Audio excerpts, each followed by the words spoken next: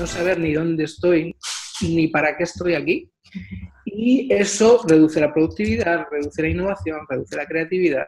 Entonces, a nivel corporativo, hay muchísimos estudios ahora mismo que te demuestran que el final no es la felicidad, no trabajamos para ser feliz. El principio es la felicidad. La gente que es más feliz consigue más cosas.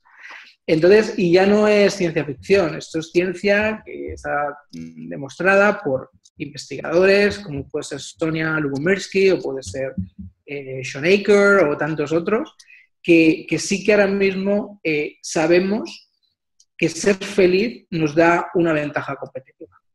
Entonces, si sabes que ser feliz te da una, ventaja competitiva y sabes que al final, donde te lo pasas bien, no es en la reunión, no es en el karaoke, eh, bueno, podemos combinar algo así para que nos demos cuenta que al final en la vida podemos conseguir mucho más si miramos las cosas de otra forma.